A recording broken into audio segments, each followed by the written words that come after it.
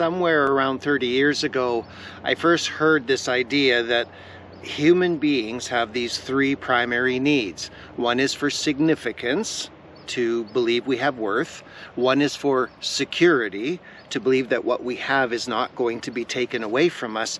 And the third is for acceptance, which is that people will always have an attitude of acceptance towards us, so we always belong to our people.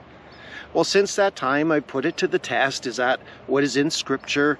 Does the Bible show that we that our significance is important to God? And the answer is yes, very much. Does it show us that God wants us to be secure? Yes, it absolutely does. Does the, the Bible teach us that acceptance is a really important thing to our design as human beings? And of course, the answer is absolutely.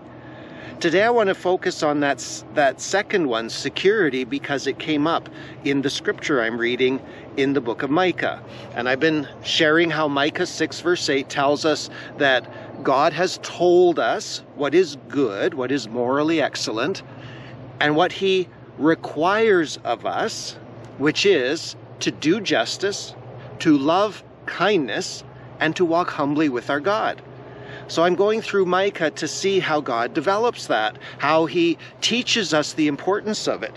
And I've come to chapter 5, verses 4 and 5, and this is what it says. And he shall stand and shepherd his flock in the strength of the Lord, in the majesty of the name of the Lord his God. And they shall dwell secure. For now he shall be great to the ends of the earth, and he shall be their peace. Now, when it says, and he shall stand, the word stand means to rise up for the purpose of taking action. So, we are given a prophecy that applies to Jesus when he was born in Bethlehem. He began his ministry and he laid down his life. That whole reality of the life of Jesus Christ, we're told that Jesus came to stand, which means he came into the world to take action, which of course is fulfilled in the new covenant in Jesus' blood. When it says that he came to shepherd his flock, shepherd means to rule over a group of people, con conceived of as tending sheep or goats. When we think of Jesus as the Good Shepherd, he's not just somebody who comes along our lives, kind of the Christian version of the genie in the bottle who grants all our wishes. That's not what Jesus is like. When he comes to tend to his flock, yes, he will lead us beside the quiet waters. He will lead us into the green pastures, but as the ruler, He's in charge. He's the shepherd. And so when it says that he will come to shepherd his flock, it means he will take complete authority over his flock for everything that we need. And so right away we see that we are, are the sheep who surrender to the authority of our shepherd to take care of us. And then it says that he does this in the strength of the Lord in the majesty of the name of the Lord his God. Now, I've shared this before that when the Lord, all four, four letters are capitalized in Lord, it is always referring to the divine name, which we would probably say as Yahweh. When you hear the name Jehovah, it is an attempt to put into English what the divine name would have sounded like in the original Hebrew. The point is that what this is saying is in the strength of Yahweh, as distinct from every other God on the earth, in the majesty of the name of Yahweh, his God. This is the power, the strength, the name that Jesus would come in, which means he is unstoppable. And so it says of the flock, and they shall dwell secure.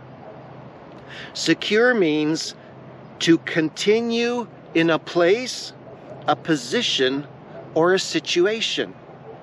That is the security everyone wants. That if we are welcomed into relationships, we want to stay in those relationships. If we are given a position in something, we want it to last. That's a longing. And what God was telling his people, even while they were going to be disciplined for their sin, he was telling them this is what is going to come. That the Savior will come, who is Christ the Lord, and he will make his flock secure. Because what they are given cannot be taken away from them. And that is the way it is. Then it says, For now he shall be great to the ends of the earth. So that means that our security is covered with any possibilities of what could happen throughout all of time, anywhere on the planet, because his authority extends to the whole earth.